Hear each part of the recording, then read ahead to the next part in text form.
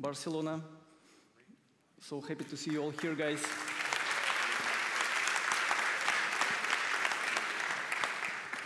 My name is Maxim. I'm from Norway. Fortunately, no snow at the moment there. Uh, so who of you were on the first Angular camp? You are super. so what's uh, my today's agenda? Uh, we'll go through Angular material 2, but first we'll uh, tell a bit um, about what is material design itself. Then uh, we'll uh, remember uh, what's the status of current version of Angular material. And then we go into newest version, Material 2, Angular Material 2. Yeah, so uh, first I want to mention that uh, I'm here all three days, so it's really hard to pack all the information uh, into 30 minutes. So if you have any questions about Angular 2, about uh, Angular Material 2, about uh, Angular Fire 2, so uh, about everything with postfix 2, you are welcome. I'm, I'm here somewhere around all, all three days. Yeah, thank you guys for inviting me, David and Johannes. Uh, okay, let's go. Uh, why, why do I talk about uh, these newest uh, products, which are um, often alpha or in, in, dev or beta? Because I work in a special team uh, in my company, my company called, called and we develop a digital identity platform. So I work in special team um, called CTO team, and we develop uh, not main products, but proof of concepts for our future products. And uh, that's why I have to deal with the newest frameworks, newest libraries, newest uh, paradigms, newest everything. So just to test it, to validate ideas, to create uh, proof of concepts, uh, to create uh, short demos. And Angular with Postfix 2 works pretty perfect for me in that sense. Angular 2, Angular Fire 2, everything. Also, I run my local uh, community in uh, Oslo. We are more than 800 people. It's crazy uh, number for tiny Oslo. And this November, I organize a conference called Mobile Era. This is our uh, website, and uh, we have mobile web as a separate track. So if you want to join in November, uh, November 3rd and 4th, you are welcome. Uh, call for papers is uh, open, so you know what to do. Yeah, also you can uh, follow me. I would uh, be happy to see you as followers at my Twitter. I tweet mostly about uh, Angular, about web development, about progressive web apps. And also I'll tweet links to slides and repos of today's talk, so it's pretty useful. So enough about me, enough uh, this shameless announcement. Okay, so first, what is material design? But, but uh, first, uh, don't jump there. Who, who uses uh, material, an Angular Material 1? Nice. I'm in the same list, actually. Uh, for something uh, really fast uh, in terms of development, I always start with uh, Angular 1.5 and um, Angular Material 1. Mm. How that's appeared, this material design? So Google often was blamed for awful designs and uh, user experience of uh, its products. And uh, in June 2014, they introduced uh, this new design language. It's, uh, it's really something global, something generic. I'm sorry, a of this. Hopefully this will work. Uh, yes, so it's kind of um, answer of Google for all these comments about uh, not so cool design of, um, of products, services. And commonly, it's uh, so, so we have uh, really nice um, design principles from old days uh, on, one, on the one hand, and we have all the new technologies, uh, all the new web standards, all the new possibilities uh, web gives us on another hand. And uh, mixing this together, we have um, the language called material design. It's based on three main principles. Mm, first, it takes some uh, ideas from uh, physical world. Uh, it's definitely not so skeuomorph like uh, all these uh, Apple designs, so no reason to mimic uh, some surface, sur surfaces, materials, or lights or shadows from, from real world, but we use everything for meaning. So we help people to understand, uh, for example, uh, hierarchy of, of the components on the screen using these different, um, for example, sh shadows. Next, as I told, from, for example, print design, we have super nice ideas uh, from, from, from, the old years, uh, how to create, for example, our typography really clean and, uh, again, meaningful. That's why uh, material design embraces best practices from print design, but again, not for something uh, catchy and uh, just sexy fonts, no, no, no everything uh, about meaning. So we use um, this, for example, typography system uh, for uh, organizing hierarchy on uh, our page. And last, for sure, in, uh, on the web, we have nice possibilities to animate.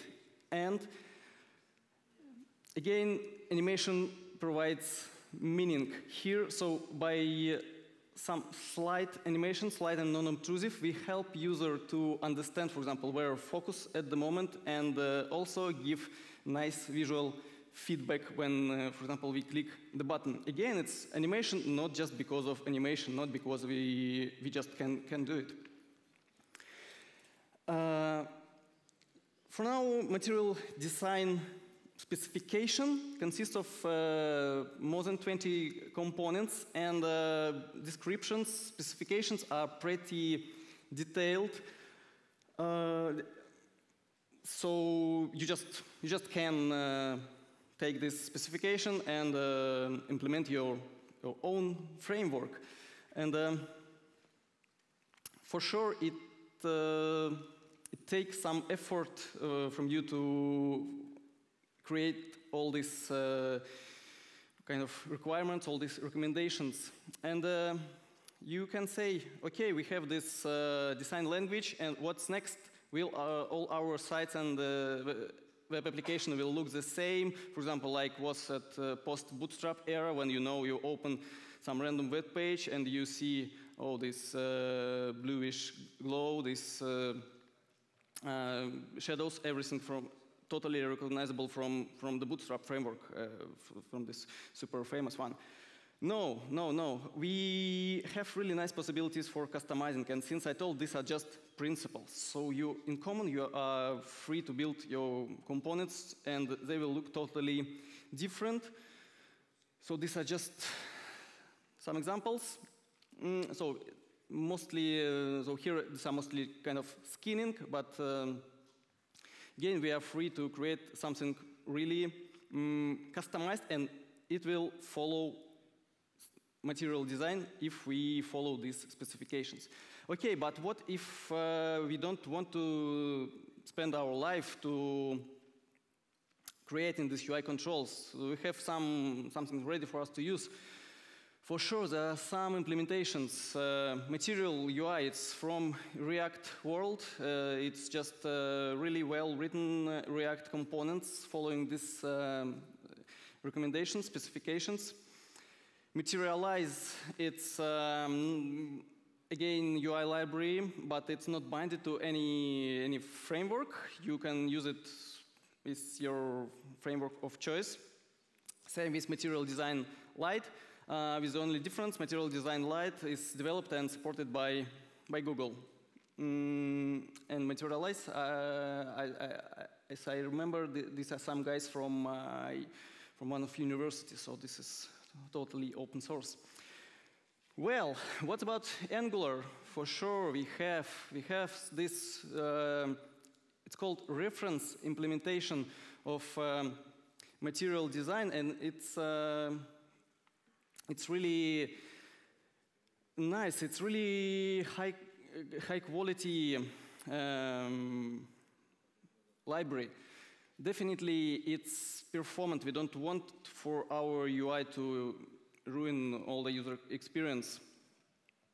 We can uh, customize it in many different ways. First, of course, uh, colors, but since um, these are just uh, kind of specifications and uh, everything is accessible to change through their CSS, we are free to do any, any experiments, but uh, important to remember that we have to follow this uh, specification to have our app called Material Designed App.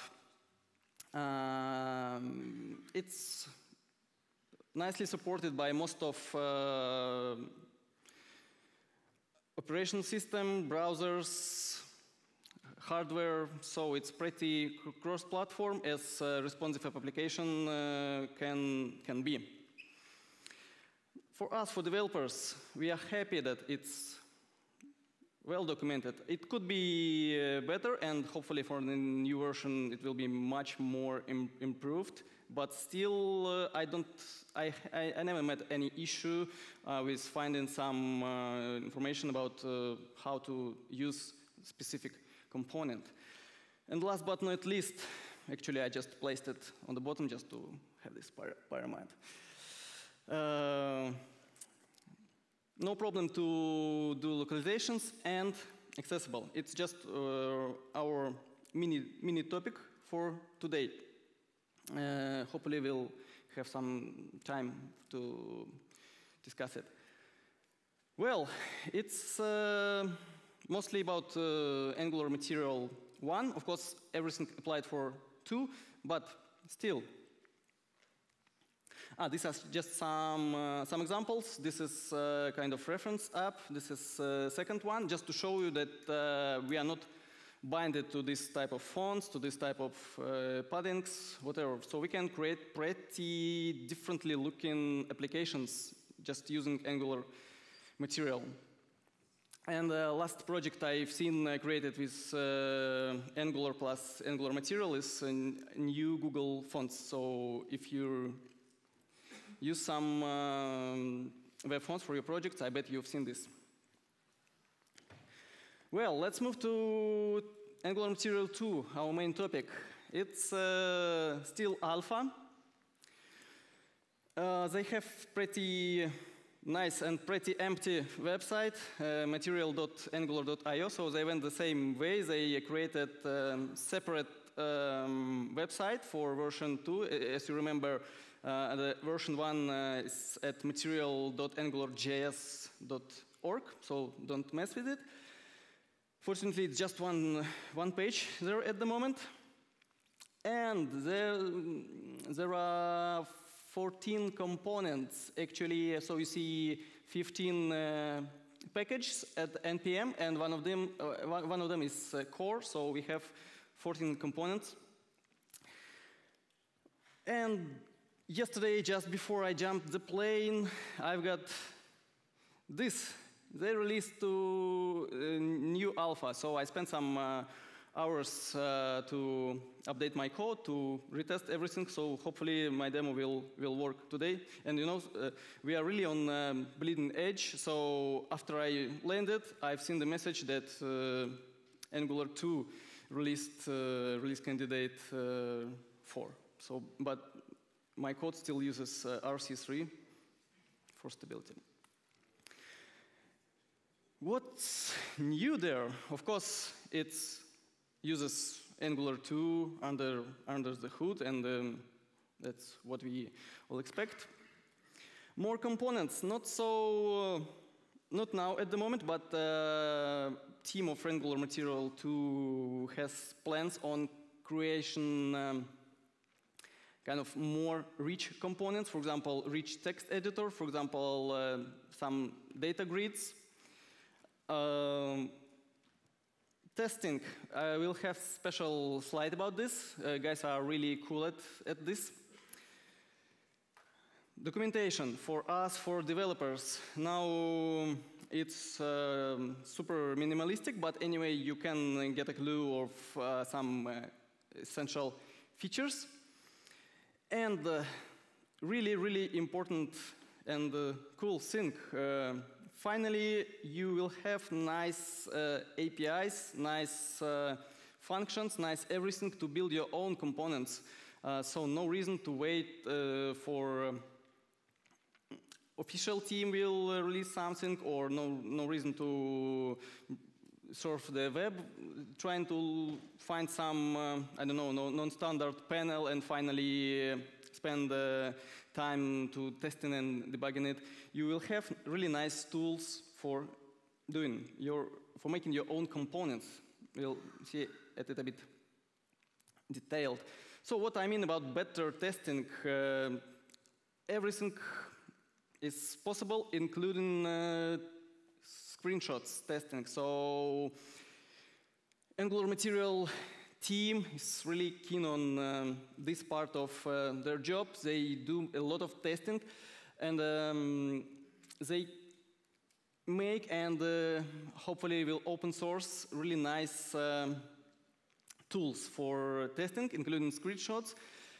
Performance is, uh, is the key, and uh, as I heard uh, from um, Kara Erickson and Jeremy Elbourn uh, speech at NGConf, they test uh, performance and uh, compare not only just the previous version and current version of their component, but uh, even they compare the speed of Angular material component and other library component.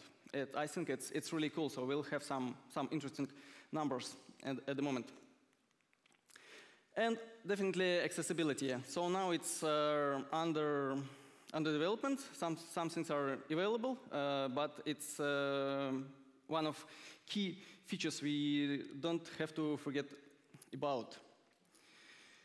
What I mean by component toolkit, so Angular Material team just uh, realized that they do much job about non actually material design stuff and not even maybe just visual stuff. They do some uh, kind of foundation job. Uh, mm, they write some foundation code uh, under their components for they look and behave co correctly. And finally, they uh, decided to kind of expose all these uh, APIs and functions to us developers so we can take something they already uh, created and build our own ones.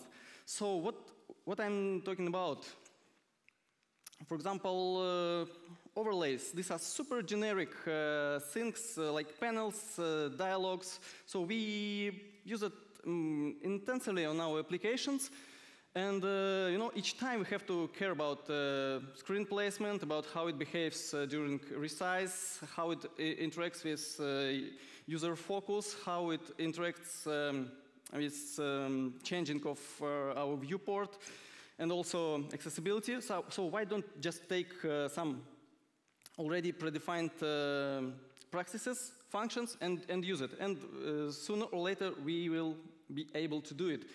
Same with uh, gestures. Um, no, no need to write our own libraries or um, uh, plug in third-party ones. Uh, as I heard, uh, they use uh, Hammer.js, which is kind of um, de facto standard for, for gestures on um, our devices.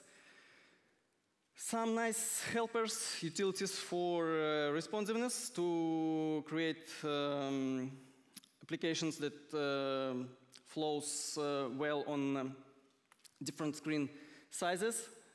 Again, accessibilities. And uh, more things like, um, like for example, virtual scroll, like uh, managing uh, user selection, and it could be, for example, multiple selection, and testing. Word I told uh, many times today, accessibility. Um, sometimes it's boring for us to do, for us developers to spend extra time on uh, on things uh, that are not just clearly visible for, for us, that uh, doesn't make sense for, for us. So we, we did some job, we checked the screen, nothing happens, no new, no new cool features. But we, have, we don't have to forget about um,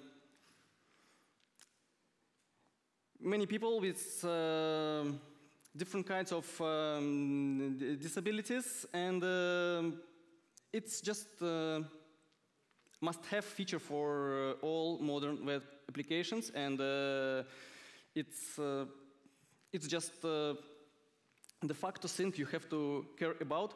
Fortunately, following uh, modern practices and uh, using modern frameworks like Angular Material, we are almost free of extra job doing it. Um, so just one specific part of uh, accessibility, um, this standard called ARIA, Accessibility for Rich Internet Applications. What's, what's this? So we, are, we are, uh, as developers, can create some really cool UI components, and um, these are not just, say, inputs or selects, of course, these are just sets of uh, spans, divs, uh, whatever HTML tags. And non-visual uh, browsers, like, uh, like screen readers, they don't uh, have any sense uh, what's this component about. So ARIA is just a way to map all our crazy amount of UI controls to some specific roles they have, like, like role button, role uh, input, role menu, role whatever. And uh, fortunately, using uh, Angular material, uh, we are kind of free of uh, setting this role manually. So we, we just use like input from um, this library or button from this library and uh, everything's done under the hood. Furthermore, if we, for, for some cases, of course, uh, we have to specify um, a bit more explicitly what's this control about and uh, some, maybe some texts uh, for screen readers. And in that case, if we uh, forgot to do it, uh, Angular material will remind us by warnings in, in the console. Yeah, so just uh, some minutes left.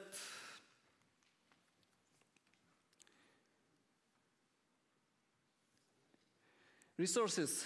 This demo I will show you just in one minute uh, on my GitHub. And of course, this two must, must have links. Something went wrong. Internet, probably. Come on.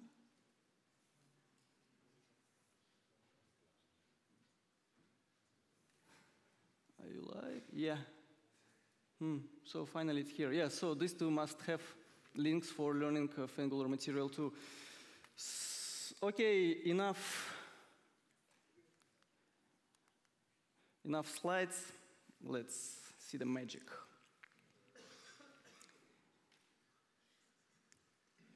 Um, let me do the mirroring. Nice.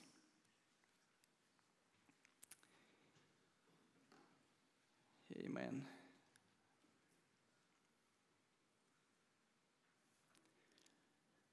Mm-hmm.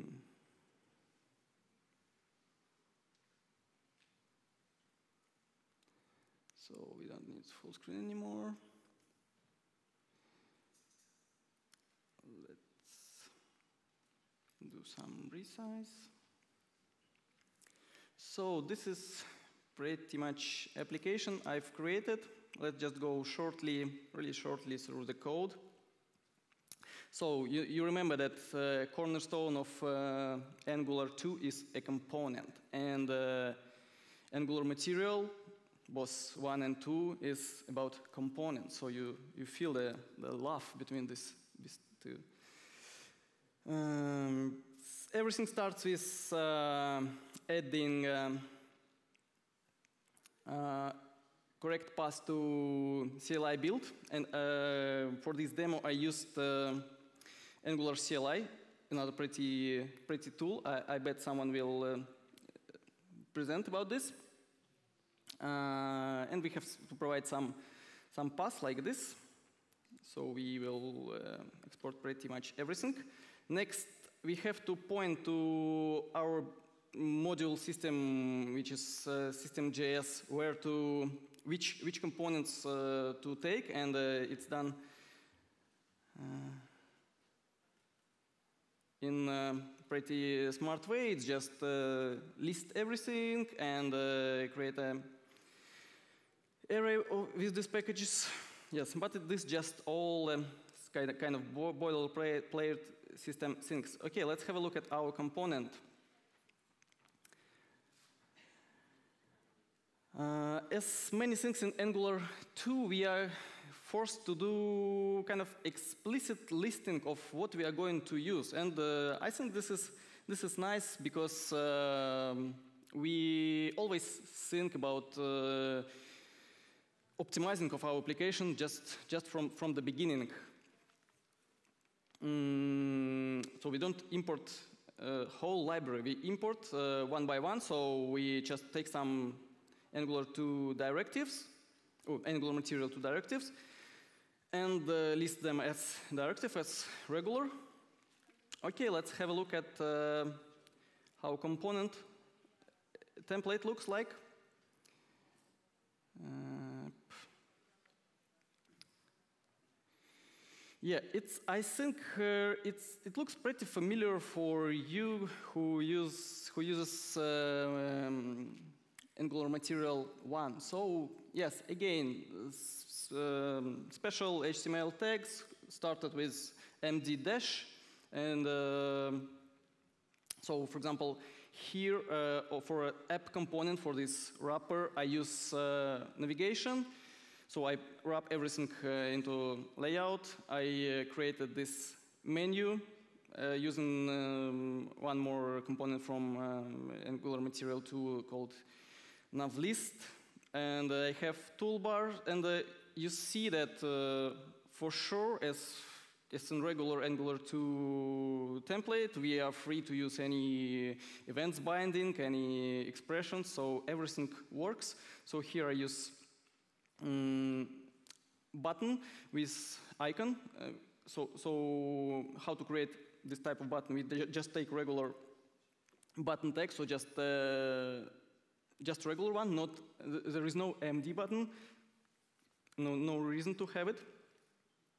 Uh, and uh, let me show you, for example, this floating action button works. It just shows uh, feedback form on top of uh, our layout, how that works. So we have MD card hidden with this variable specified uh, on our code, just uh, simplest Boolean variable. And again, our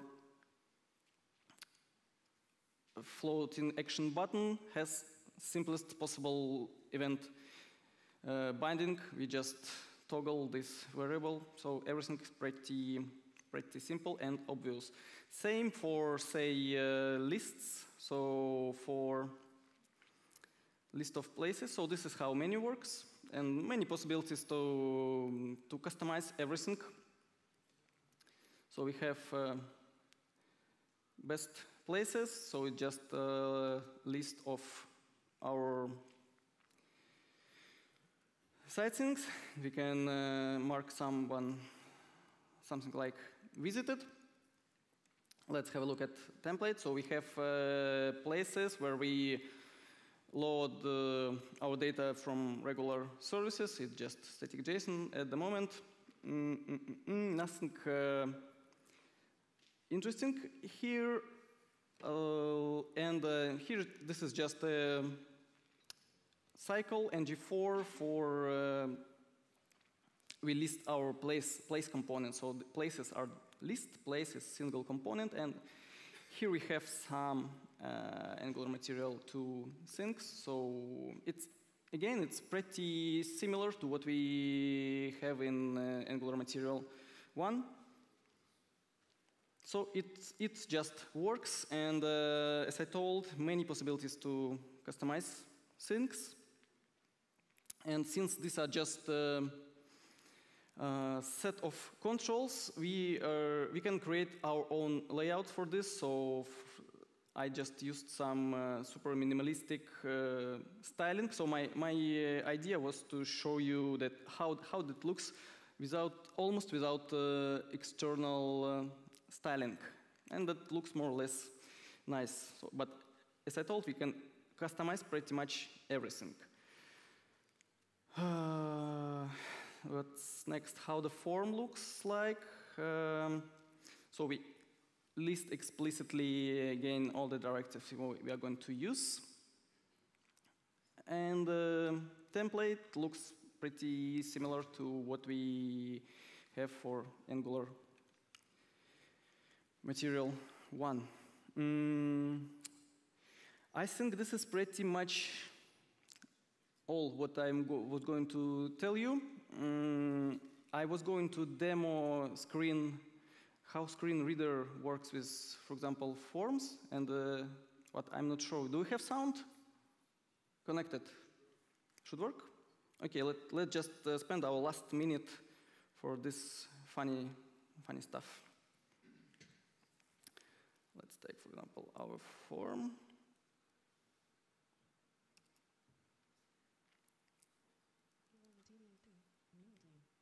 You are currently on HTML content. To enter the web area, press Control Option Shift down arrow. Name Edit text. You are currently on a text field inside of HTML content. To enter text in this field, type to exit this web area, press Control Option Shift Up arrow. So at gmail.com selected. You are currently on a text field inside of HTML. SALNIKOV yes. at gmail. And- I agree with terms. Mixed checkbox.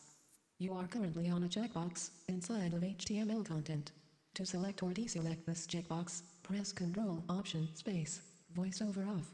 Okay, so this is the interesting case. So these are just pretty um, gen general inputs, but this um, nice uh, checkbox, so it's completely customized. It has nice animations, but screen readers uh, still understand how to deal with this thanks to ng area. And uh, it's kind of common practice for all the UI components. We have to map them to specific and limited set of roles each screen reader what to, know, to do with.